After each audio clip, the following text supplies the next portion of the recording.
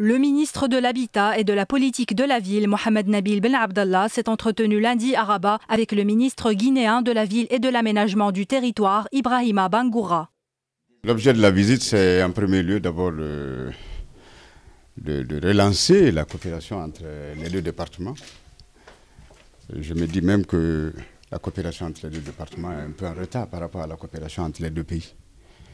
Et si éventuellement, pour la première fois, ça a eu lieu, moi je viens donc renforcer ce qui a été avant moi et éventuellement demander à ce que du côté du ministère de la Ville et de l'urbanisme du Maroc, je puisse tirer certaines expériences.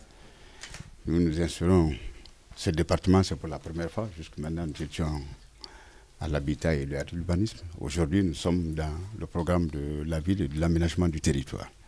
Ce qui veut dire que le Maroc a déjà une certaine expérience dans ce cadre-là. Nous avons jugé utile de venir le voir pour pouvoir un peu bénéficier de, cette expérience. Nous sommes donc heureux aujourd'hui euh, de recevoir euh, M. Ibrahim Bengoura pour euh, cette visite qui va consacrer certainement une perspective nouvelle dans les relations entre nos deux pays. Le Maroc a une expérience importante à partager avec ses frères africains.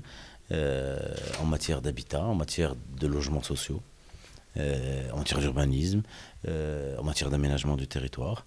Et nous allons essayer, à travers les contacts quoi, Monsieur le ministre, d'associer un certain nombre de sociétés privées, également marocaines, mais également des sociétés publiques, pour que des coopérations nouvelles puissent voir le jour.